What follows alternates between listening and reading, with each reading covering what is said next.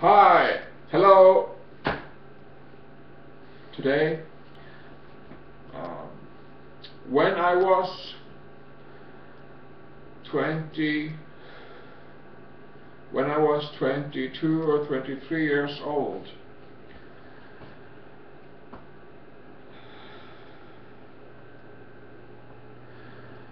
I was diagnosed with schizophrenia and delirium, alcohol poisoning, in a mental health hospital in Norway. I was diagnosed with schizophrenia because I was hearing voices.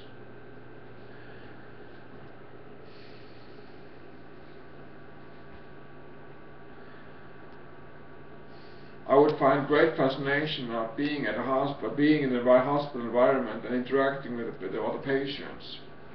There would be, and that, that state of being in hospital, being in hospital care, receiving care, became addiction to me throughout the years. And after almost 100, after almost 100 commitments to hospital, I realized that, I, that it, that it had become addiction and had to end. Um, first I thought that personality uh, that first I thought that schizophrenia is uh, like PSD, a personality disorder. I thought that that, that, that uh, schizophrenia was to have multiple personalities. That is partially correct. Um, later I learned a lot about voices and I, uh, I explored very deeply uh, with all sorts of I explored voices in the head. I uh, used drugs. I would listen to music that would like inspiring me to investigate these voices in the head. I'll take medication. I'll do things to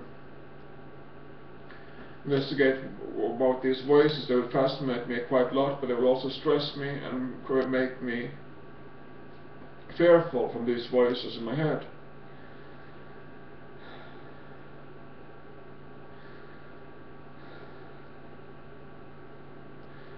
Now, I then thought that that schizophrenia is only voice in the head, that schizophrenia in itself doesn't exist. It just, I would think that schizophrenia in itself does not exist. I would think that schizophrenia in itself is just a trick to sell you drugs.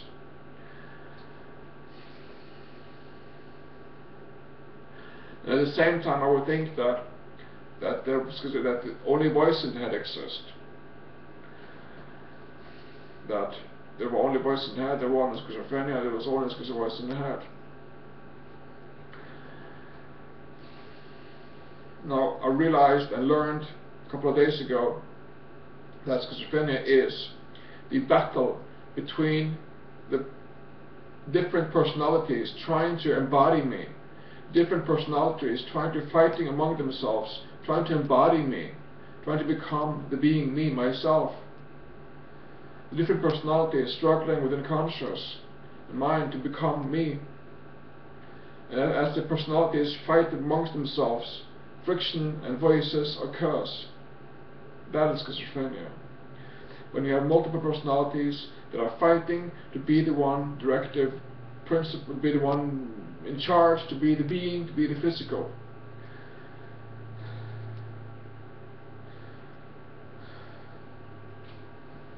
Schizophrenia is that battle between personalities within oneself, where the, the personalities are trying to be the physical, trying to be the being. That is schizophrenia. And, and since you have this battle of friction between personalities, then you have voice in the head, which is a known phenomenon with schizophrenia. I just want to share this because I just realized this, that I've been living this, I've been living within this schizophrenia world and not knowing what it really was. So I really wanted to share this with you guys.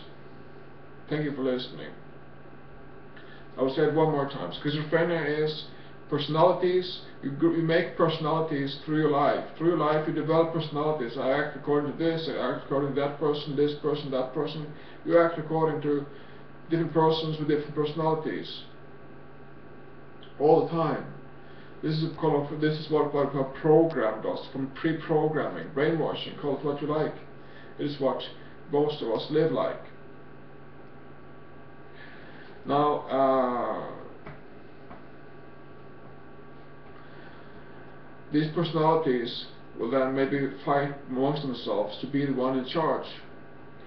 These personalities will be the will fight among themselves to be the dominating figure, to be the being, to be the physical. That is schizophrenia, from personality ground. From fighting amongst the and from fighting within the personality systems.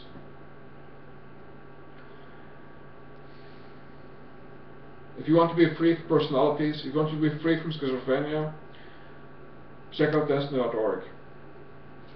And learn to work with self-forgiveness. Learn to learn with self-corrections. That is a great, profound medicine to use, a great key in life, without any doubt. Self-forgiveness is the great key in life to heal self. Self-forgiveness, self-honesty, self-acceptance, and so on. Check out desteni.org, check out my blogs, and have a nice day.